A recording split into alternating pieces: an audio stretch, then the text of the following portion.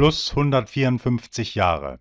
USA: Lebenslang reicht Ankläger nicht als Strafe für Bradley Manning. Verteidigung wirft Staatsanwalt Hetzrede vor. Dem Whistleblower Bradley Manning droht lebenslange Haft, sollte das US-Militärgericht in Fort Meade dem Strafantrag der Anklage folgen. Der Urteilsspruch scheint unmittelbar bevorzustehen. Danach wird in weiteren Prozessterminen das Strafmaß verhandelt und verkündet. Freiheit für Bradley Manning forderten am Samstag tausende Menschen in 40 Städten weltweit. Bereits am Freitag war die Einfahrt von Fort McNair, dem Amtssitz von Generalmajor Jeffrey Buchanan in Washington, von Demonstranten blockiert worden. Dem Militärkommandeur obliegt die Oberaufsicht über das Verfahren gegen Manning. Am selben Tag konnte David Coombs mit eintägiger Verspätung sein Schlussplädoyer halten.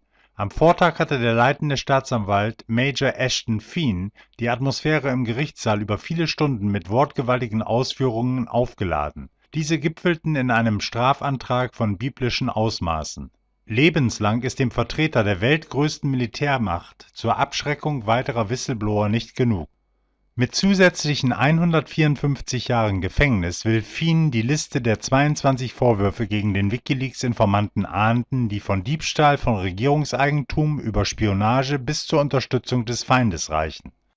Die hohe Strafe hält Fien für angemessen, weil Manning sich wissentlich und in böser Absicht der Unterstützung des Feindes Al-Qaida schuldig gemacht habe zwar hat das die Beweisaufnahme nicht ergeben, aber Major Fien setzt auf die Wirkung von Reizwörtern, die aus dem Whistleblower einen Terrorhelfer machen sollen.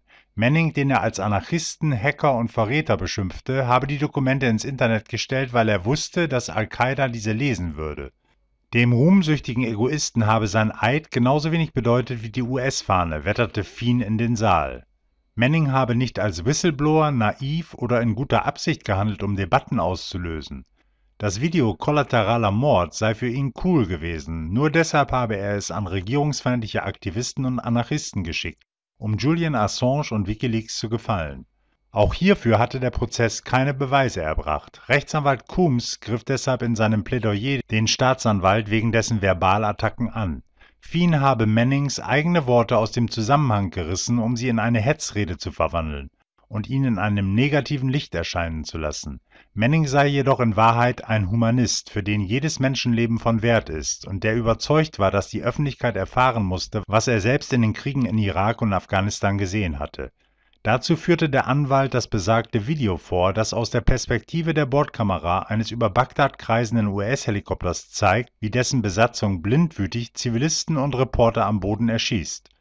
Coombs an die Militärrichterin gewandt, was hätten Sie empfunden, wenn Sie mit 22 Jahren ein solches Video gesehen hätten? Der Verteidiger wies schließlich die Theorie der Anklage zurück, sein Mandant habe systematisch und wahllos Geheiminformationen gesammelt und sei dabei rücksichtslos vorgegangen. In Wahrheit habe Manning sehr selektiv Dokumente ausgesucht, die er kannte. Bei seinen an die US-Öffentlichkeit gerichteten Enthüllungen habe sein Mandant Sorgfalt walten lassen, um weder Quellen noch Kameraden zu schädigen, so Coombs. Manning erwartet nun das Urteil auf dem Militärstützpunkt Fort Meade.